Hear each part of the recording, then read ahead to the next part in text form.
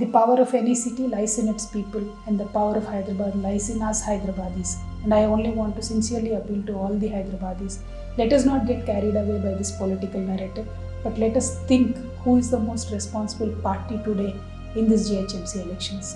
I am here to sincerely urge and appeal to all my fellow Hyderabadis to think very, very clearly and responsibly and in detail before casting a vote on this election.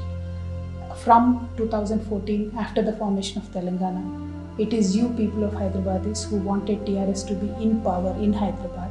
And in the last six years, I'm very proud to say TRS government has not disappointed any one of the Hyderabadis.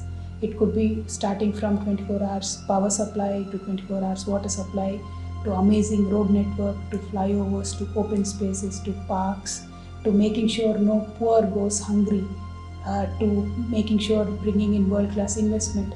Everything was achieved in these six years as a bundle for our Hyderabadis. I sincerely want to appeal that it is you who made it possible for TRS to be in power all these six years. So responsibly, our government should could work for the development of Hyderabad. I only want to reappeal to all of you that if you support us, TRS party, in this general in this upcoming election, the development process can further can be furthered with a greater vigor.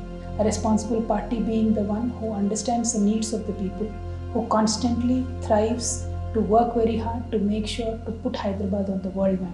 TRS party has done that under the Honorable KCR Garu's leadership and KTR Garu's dynamic execution. We've made sure that Mercer, an international agency, ranked Hyderabad to be one of the best livable cities in this country for last consecutive five years.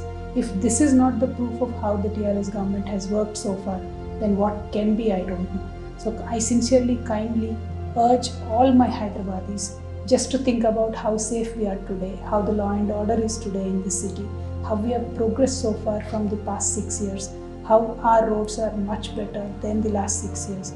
I only want you to give us one other, one other chance so that this development can continue. Thank you so much. Please give it a good thought before you vote.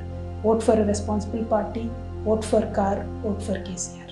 నిరంతర news update కోసం ఛానల్ను subscribe చేయండి. పక్కనే ఉండే bell సింబల్ను click చేయడం మర్చిపోకండి. అప్డేట్స్ని miss అవ్వకండి. Thanks for watching please like comment share follow on Facebook Google plus Twitter Instagram for more updates please subscribe great Telangana TV